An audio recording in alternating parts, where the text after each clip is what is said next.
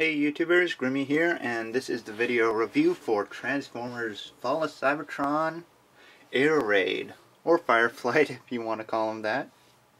Um, it's a nice little repaint of Shockwave with a little bit of retooling, like on the chest piece here, and they gave him new weapons, um, which you'll see in the robot mode. Um, but yeah, very Firefly-esque and Air Raid's more of a solid black. This one's uh, got more of a um, red in, like, light or brown or gray or something like that. Uh, whatever. Um, definitely an interesting looking jet mode. Um,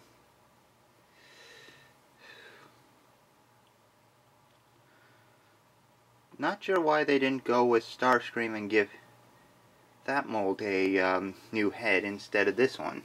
But, uh, whatever. It's not bad. Seems to work. I think. At least it looks like it's something that can fly. But anyway, let's do a quick comparison. Here's Shockwave, who this uh, mold was designed for, and there's Air Raid.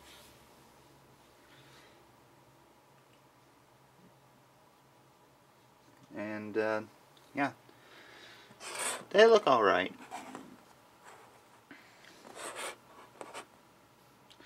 I mean, I like Shockwave for this kind of mold better, but, um, eh, whatever.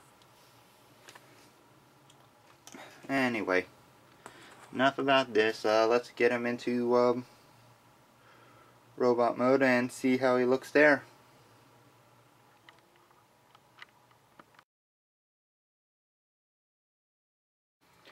Okay, now we have Air Raid in his robot mode, and uh, yeah, he is looking alright.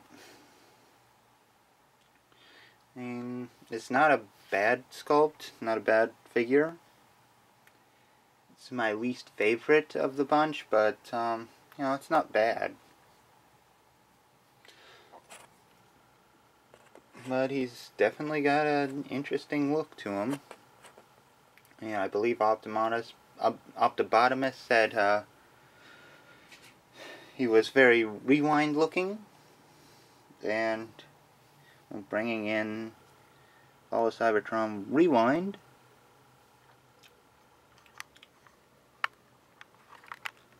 I guess you could say there's a bit of a resemblance here. And especially if I were to get um, G1 Eject, who was basically uh, just a blue Rewind, there might be some resemblances between the two. Um, slight, but existing. Uh, but, yeah, in any case. This one's uh, Air Raid, who looks like Fireflight as far as paint job goes. And ironically enough, uh, Takara's got a Fireflight that's looking like Air Raid. with the same sculpt. Uh, yeah. I mean, my problem is this is an Aerialbot who does not combine with anything. So we will not see Superion, which kind of makes me sad. But anyway. Um, you know, if you got Shockwave, you know what you're getting as far as uh, articulation goes. You got a swivel at the head, swivel at the shoulder, in and out at the shoulder. Ball jointed elbow. You also got this little hinge to add some posability and uh, hinges at the wrists. You also got um, no waist, um, ball jointed hips,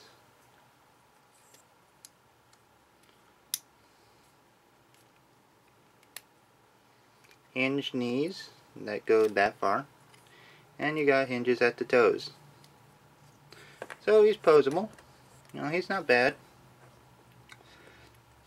One thing I forgot to mention on the vehicle mode, the way the chest is sculpted, that Autobot symbol in vehicle mode is upside down. Which kind of stinks. But, um, yeah. And he has three accessories. He has one sword. He has another sword that folds up into a gun. And he has another gun. Now this part, this gun here is just like uh, the Shockwave uh, blaster, where you can just uh, snap it on, and it's actually a part of his arm now. You can also combine it with the um, big blade and have him have a sword arm or a gun arm. Which looks pretty cool but it's not easy to actually maneuver with that big blade at the bottom.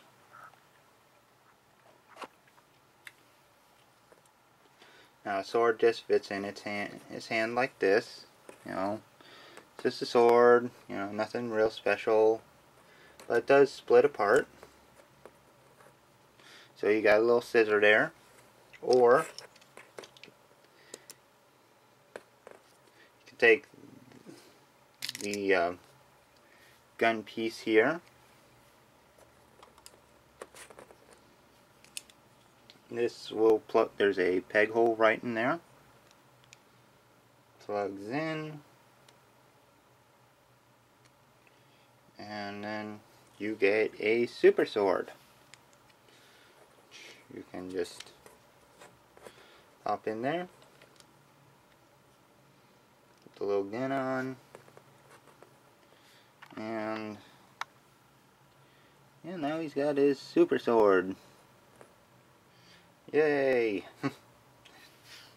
yeah, that's actually a pretty cool looking weapon. I'll give it that. This part it looks pretty good. Um,